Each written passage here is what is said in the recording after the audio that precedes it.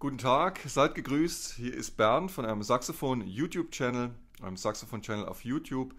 Ich mache für euch heute ein neues Video zum Thema Tonleitern. Wir hatten ja schon ganz viele Tonleitern zusammengespielt. Ich habe euch ja, ja bis zwei Vorzeichen habe ich euch gezeigt. Wir haben G-Dur gemacht, D-Dur gemacht, A-Dur glaube ich haben wir auch gemacht. Bin mir nicht sicher. Ich glaube A-Dur kommt noch. Und wir haben F-Dur gemacht, eine B-Tonart. Und so halb haben wir auch schon B-Dur gemacht. Und zwar hatte ich euch das in einem Video äh, auf dem Tenorsaxophon gezeigt. Wenn ihr bei Altsaxophon spielt, dann ist dieses Video genau das Richtige für euch. Wir machen heute B-Dur. Und zwar zeige ich euch die Griffe nochmal mit dem Altsaxophon. Und das ist für euch Altisten deshalb gut, weil ihr könnt direkt mitspielen und ihr könnt hören, ob das stimmt, was ihr spielt. Also das ist gar nicht schlecht, wenn ihr das gleiche Instrument dann zum Üben nehmt. Äh, ihr könnt natürlich die Griffe auf dem Tenor, die sind ja gleich, da könnt ihr auch mit dem Tenor-Video üben, das ist kein Problem. Aber es ist irgendwie doch besser, wenn man, ähm, wenn man das gleiche Instrument dann hat. Deshalb mache ich das für Alt und Tenor. Okay, ich muss jetzt gerade mal hier, Moment. So, okay, ich das einstellen. Die B-Tonarten sind für viele Saxophonisten, gerade für Anfänger, sind nicht so schön. Viele mögen die gar nicht. Warum ist das so? Das kann ich euch erklären. Das liegt an der Art der Griffe oder an der Art des Instruments.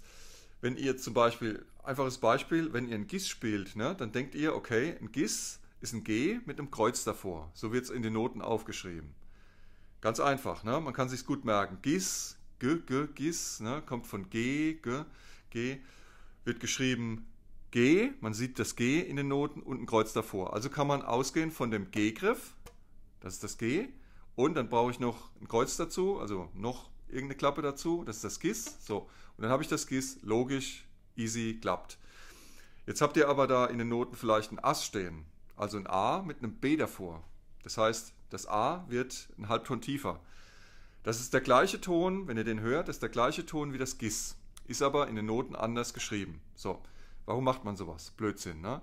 Das kommt immer auf die Tonart an. Manche Tonarten haben eben ein Ass statt ein Gis. Das ist so. Das ist eine B-Tonart, da gibt es kein Gis drin, da gibt es dann ein Ass. Okay, jetzt ist das aber viel komplizierter, wenn ich ein A in den Noten sehe mit einem B davor, dann denke ich ja erstmal an den A-Griff. So, ne?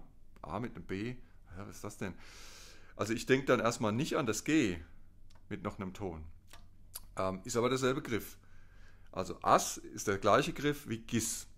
Jetzt müsst ihr euch das einfach merken. Ne? Wenn ihr vielleicht ein bisschen in den neuen Tonarten, in den B-Tonarten übt oder vielleicht auch Stücke in den B-Tonarten spielt, dann müsst ihr irgendwann müsst ihr es abspeichern. Wenn ihr da ein Ass seht, dann wisst ihr, das ist ein Gis.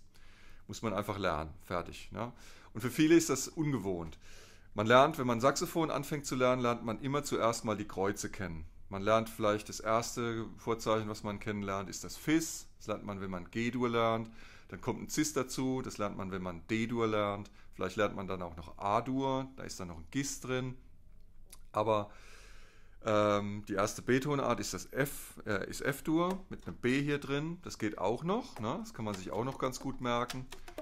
Aber dann, wenn B-Dur kommt, dann wird es für viele so ein bisschen seltsam, weil da kommt nämlich auch noch ein S da drin vor. Hier. In B gibt es zwei Bs. Das B hier vorne und ein S. Das ist hier. Und beim S, das ist genauso ein Beispiel ähm, für diese Verwirrung, die man hat, wenn man Bs denkt. Und zwar ist ein S ist auch gleichzeitig ein Dis. Ein Dis ist logisch, weil da gehe ich vom D, D-Griff aus. Das ist wie beim G hier oben das Beispiel. Und muss eben noch ein Kreuz dazu nehmen, noch diese Dis-Klappe. Dann habe ich ein Dis. Wenn ich aber ein S sehe in den Noten, dann denke ich ja erstmal, ah, das ist ein E mit einem B. Wo ist das B? Hä? Also S heißt E ein Halbton tiefer. Das S.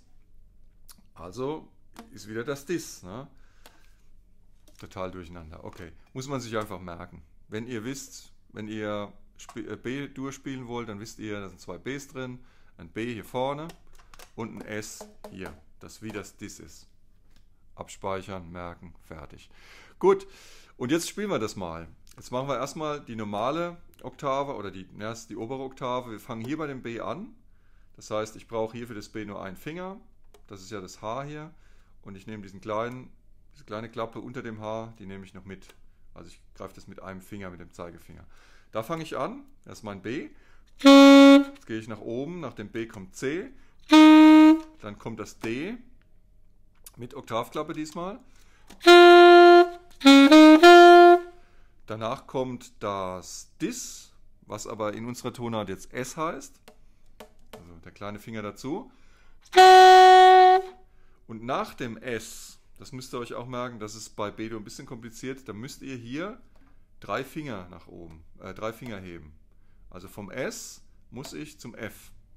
Das ist die Bewegung. Bisschen ungewohnt. Und die müssen am besten, damit es wirklich gut klingt, müssen die gleichzeitig hoch. Also nicht nacheinander. So nicht, ne? Gut, dann sind wir beim F. Dann kommt G. A und das hohe B. Jetzt machen wir das wieder von oben nach unten. Bis F ist kein Problem. Dann umgedreht, jetzt vom F müssen wir zum S. Das heißt, die drei Finger kommen gleichzeitig wieder drauf. Ja, der ist auch wichtig. Und jetzt muss der Kleine alleine wieder weg. Dann C hier vorne ohne Oktavklappe. Und der letzte B. So, wir machen das mal zusammen, ganz langsam. Also, ich fange hier an, dann gehen wir nach oben.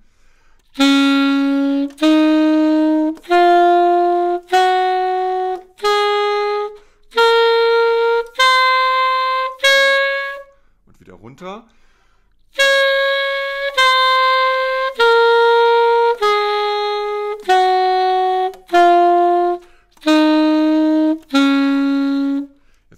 Noch eine Oktave tiefer spielen. Das ist auch kein Problem. B-Dur ist eine Tonart, die liegt auf dem Saxophon sehr gut. Die kann man über zwei Oktaven spielen. Das geht nicht mit jeder Tonart. Bei B-Dur geht es sehr gut. Jetzt gehen wir wieder hier. Beim B, bei diesem normalen B ohne Oktavklappe, gehen wir wieder los. Dann gehen wir nach unten und die Griffe sind genau gleich, bis auf die letzten zwei Töne, die sind anders. Das zeige ich euch gleich auf dem Weg nach unten. Okay.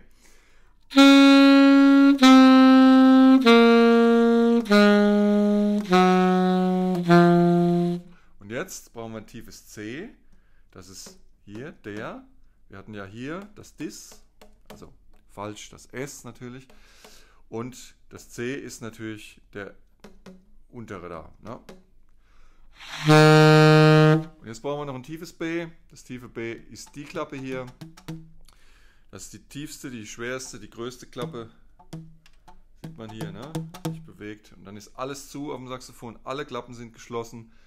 Das Saxophon ist nur noch ein langes, großes Rohr. Ja, das ist leider kompliziert hier oben. Das C ist gegriffen und ihr müsst wirklich mit dem kleinsten Finger hier oben, mit dem kleinen Finger, mit dem Pinky, müsst ihr hier auf die größte Klappe runter. Bisschen auch so abspreizen den, den Finger, ne, dass es geht, dass ihr hinkommt. Oder wenn euer Finger zu kurz ist, dann könnt ihr auch die Hand ein bisschen drehen. Dann kommt ihr auch hin. Also, ich hatte schon Schüler, so achtjährige Schüler und Schülerinnen mit kleinen Händen, die haben auch, die konnten ein B spielen. Also es ist keine Entschuldigung, äh, wenn man kleine Hände hat, dass man sagen kann, nö, ich komme da nicht hin. Stimmt nicht. Man kommt hin, wenn man will. Na? Bisschen die Hand drehen, dann geht's. Okay. Ähm, jetzt könnt ihr das üben. Jetzt könnt ihr schön hier vom tiefen B, zwei Oktaven nach oben, wieder runter, immer ein bisschen üben. Und ich mache bald auch ein Video. Das nächste Video, was kommt, ist das wahrscheinlich, wo ich euch dann noch ein paar Übungen zeige für B-Dur oder vielleicht spielen wir auch noch so kleine Kinderliedchen mit B-Dur. Ich hatte ja vor, ja, das vorletzte Video oder so war das, hatte ich euch gezeigt, wie man mit Kinderliedern Tonarten üben kann. Also ihr spielt ein ganz leichtes Kinderlied, was ihr wirklich gut könnt, was ihr im Kopf habt, die Melodie ist safe. Und dann nehmt ihr das einfach und spielt das in verschiedene Tonarten rein. Also die Tonarten, die ihr üben wollt. Und dann könnt ihr die Tonart mit Hilfe dieses leichten Kinderliedes üben. Das ist eigentlich eine super Idee. Und ihr lernt auch transponieren direkt. Ne? Ihr kennt das Lied in der einen Tonart, geht in die andere Tonart, dann lernt ihr schneller transponieren. Könnt ihr, ihr lernt schneller denken vor allem. Gut. Ich, euch, ich hoffe, euch hat das Video gefallen. Ihr konntet einiges lernen.